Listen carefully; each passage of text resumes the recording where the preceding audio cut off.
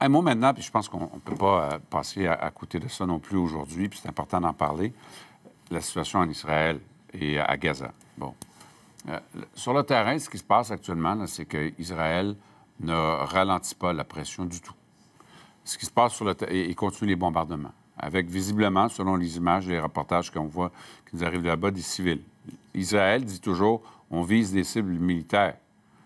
Hamas, dans ce cas-là, euh, mais il y, a, très souvent beaucoup de victimes civiles. C'est ce qui choque de plus en plus la communauté internationale. En même temps, sur le terrain, ce qu'il y a, vous l'avez vu un peu plus tôt, euh, le Hezbollah au Liban, qui dit euh, ouais, ben, peut-être qu'on pourrait ouvrir un deuxième front là-bas. Donc, la situation, elle est loin de se régler. Il y a beaucoup de gens qui souffrent là-bas.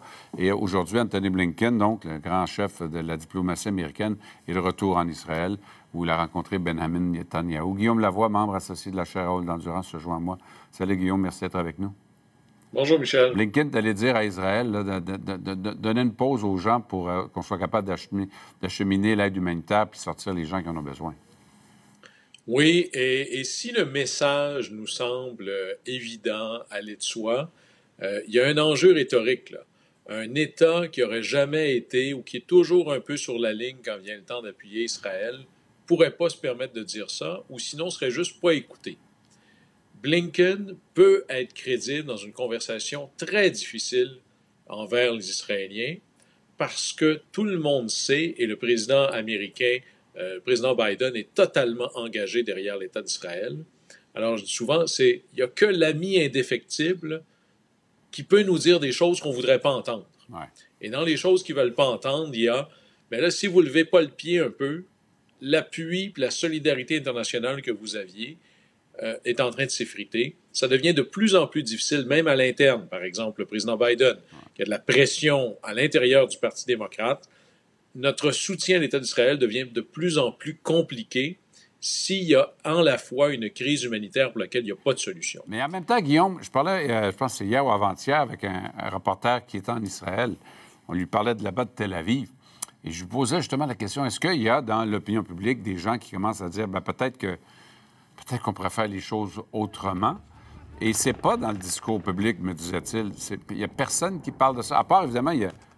C'est pas personne, parce qu'il y a toujours des tranches de la population, mais ça ne représente pas l'opinion publique euh, là-bas. Euh, et on comprend les Israéliens d'être choqués jusqu'au profond d'eux-mêmes par ce, que, les, milices ont fait est épouvantable on comprend cette colère-là, mais en même temps, si c'est même pas un sujet de discussion en, Israël, je veux dire, c'est difficile même pour Netanyahou de lever le pied parce qu'il va se le faire reprocher chez lui. Exactement. Et, moi, euh, bon, je suis pas sur place, mais j'ai beaucoup d'amis en Israël à qui j'ai parlé. Il y en avait qui étaient plus au centre, beaucoup qui étaient très marqués à gauche, donc avant le 7 octobre, étaient essentiellement engagés euh, pour la paix, le retrait des colonies dans les territoires palestiniens, euh, contre Netanyahou complètement, une véritable opposition au premier ministre en place pour toutes sortes de raisons légitimes. Présentement, les échos que moi je reçois sont véritablement du même ordre que ce que vous venez de décrire. C'est une colère profonde et pas tant un désir de vengeance. Il faut revenir à la raison pourquoi on a créé Israël, c'est pour que ce soit un lieu où la population juive peut être en sécurité contre l'oppression venant d'ailleurs. Et ça vient toucher à plein de choses. C'est plus qu'une attaque hmm. atroce. C'est la plus grande attaque contre une population juive depuis l'Holocauste. Alors évidemment que la colère chez les Israéliens, elle est énorme. C'est viscéral, Guillaume, finalement, c'est ça. Oui, ils veulent pas entendre parler de paix, ils veulent entendre parler de sécurité. Et là, on revient à ce drame de ce conflit presque millénaire est-ce que ça prend la sécurité pour avoir la paix ou la paix pour avoir la sécurité? Alors, M. Blinken arrive dans tout ça, et même si ça a l'air d'une très, très, très petite victoire, essayez, on ne peut pas dire les mots cesser le feu, mais une pause qui permettrait à tout le moins d'alléger les souffrances chez les civils, ça, ce serait peut-être une grande victoire dans le contexte de la complexité générale. Parce que j'ai en tête les mots de Joe Biden plus tôt cette semaine qui disait aux Israéliens ne laissez pas la colère vous submerger. Il y avait un message là qui, si je comprends bien, ne euh, trouve pas un écho très fort, mais que les Américains maintiennent.